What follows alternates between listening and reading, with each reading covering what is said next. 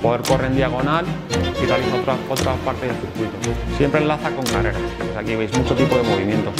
Nosotros nos tenemos que adaptar a lo que tenemos, al material, al campo que tenemos, ya sea hierba natural, hierba artificial, conos, aros.